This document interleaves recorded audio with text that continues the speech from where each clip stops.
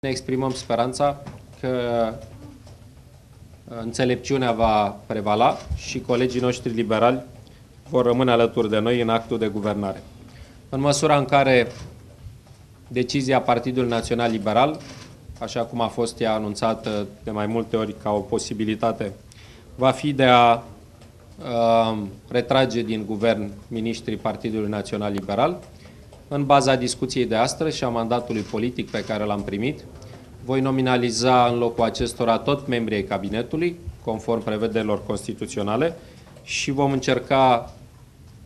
încă atâta timp cât ne permit termenele constituționale, să găsim o soluție politică pentru ca guvernarea să continue sub formula Uniunii Social-Liberale. Ulterior, Ponta a precizat că în cazul retragerii PNL din guvern, termenul pentru formarea noului cabinet este 8 martie, când expiră interimatul vicepremierului Gabriel Opera la MEAI. Că nimeni din cadrul dintre senatorii Uniunii Social-Democrate nu va iniția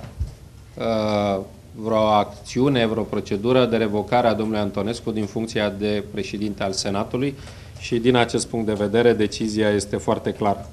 Din punct de vedere organizatoric, vreau să anunț că luni,